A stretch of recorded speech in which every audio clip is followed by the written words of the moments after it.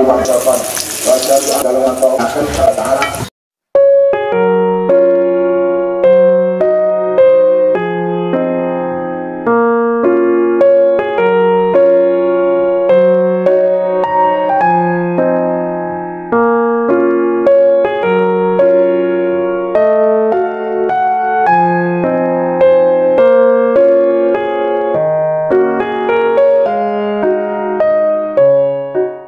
Assalamualaikum warahmatullahi wabarakatuh. Sugeng Rawuh Pamirsa Selamat datang di resep Mama Masak. Di resep kali ini kita akan membuat jajanan yang banyak disukai oleh anak-anak.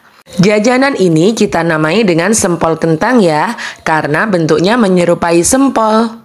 Rasanya enak, crispy di luar dan lembut di dalam sekarang mari kita masak bersama-sama. Setelah kentangnya dikupas dan dicuci bersih, kemudian dikukus atau bisa direbus ya. Kukus atau rebus sampai empuk, kemudian tambahkan 1-2 sendok makan gula pasir. Lalu haluskan menggunakan food maker sampai benar-benar halus. Di sini saya menggunakan 3 buah kentang berukuran sedang. Setelah dihaluskan, tekstur kentangnya menjadi kental dan halus. Selanjutnya, tambahkan 4 sendok makan tepung maizena. Aduk sampai rata dan tambahkan sedikit air bila adonannya terlalu kering. Sehingga adonan dengan mudah dibentuk atau dikepal-kepal seperti ini. Selanjutnya, bentuk adonan menggunakan tangan supaya lebih mudah. Tangan saya ini sudah bersih ya. Kepal-kepal adonan lalu dipipihkan kemudian diberi stik es krim di tengahnya. Tekan-tekan dan bentuk menyerupai sempol ya.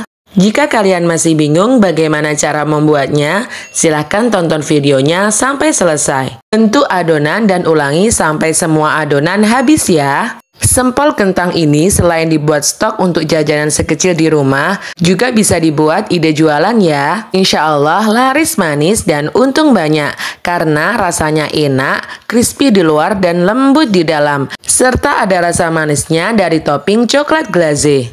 Langkah selanjutnya, setelah adonan dibentuk menyerupai sempol, kemudian dimasukkan di cairan basah. Cairan ini terbuat dari tepung terigu dan air. Teksturnya jangan terlalu kental dan jangan terlalu cair ya. Setelah dicelupkan di cairan basah, kemudian lumuri dengan tepung panir bagian luarnya. Lumuri dengan tepung panir sampai semua bagian luar tertutup ya, sambil sedikit ditekan-tekan. Dan ulangi sampai selesai. Setelah dilumuri tepung panir seperti ini, sebenarnya sudah bisa dibuat stok frozen food. Tetapi karena nanti saya simpen di kulkas bagian chiller, supaya awet lama, saya goreng setengah matang terlebih dahulu. Jika kalian ingin menyimpan dalam bentuk frozen, cukup disimpan di kulkas bagian freezer, tanpa perlu digoreng terlebih dahulu ya. Atau jika langsung dinikmati dan langsung dimakan, bisa digoreng terlebih dahulu. Goreng sampai kering dan crispy ya.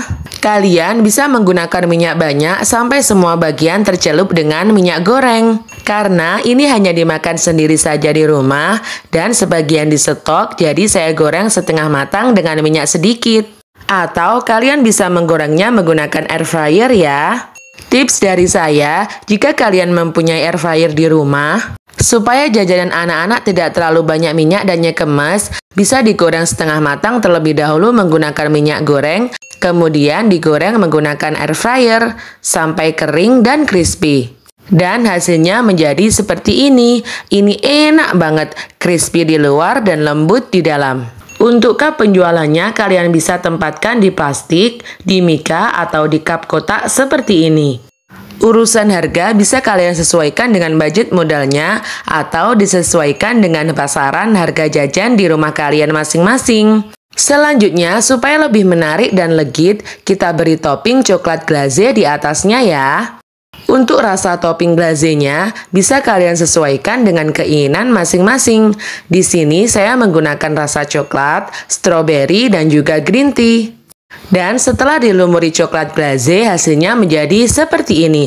Ini manis, crispy, dan enak banget. Anak-anak di rumah pasti suka. Apalagi jika dijual dengan harga 1000 sampai 1500 rupiah, pasti laku banget. Untuk stok frozennya saya simpan di kotak tinwell putih seperti ini. Selamat mencoba ya, semoga resep ini bermanfaat. Terima kasih kepada teman-teman semua yang telah menonton video ini sampai selesai. Dukung channel kami dengan cara klik subscribe, like, dan share sebanyak-banyaknya. Dan jangan lupa nyalakan notifikasinya supaya tidak ketinggalan video terbaru dari kami. Wassalamualaikum warahmatullahi wabarakatuh.